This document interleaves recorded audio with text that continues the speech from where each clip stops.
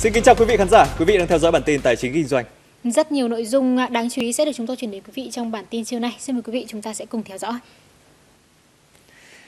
Giá cao su trên thị trường quốc tế tăng mạnh phiên cuối tuần trước, tiếp nối đà tăng từ cuối tháng 3. Cụ thể, theo Sở Giao dịch Hàng hóa Việt Nam, giá cao su loại RSS3 hợp đồng kỳ hạn tháng 7 trên sàn Tokyo hay gọi là Tocom đã tăng 3,93% lên hơn 41,9 triệu đồng một tấn.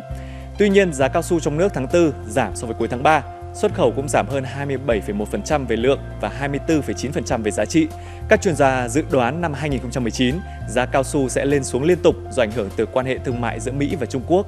Ngành cao su Việt Nam chắc chắn chịu ảnh hưởng lớn do Trung Quốc là thị trường nhập khẩu cao su thiên nhiên lớn nhất của Việt Nam, chiếm khoảng 63% trong năm 2018.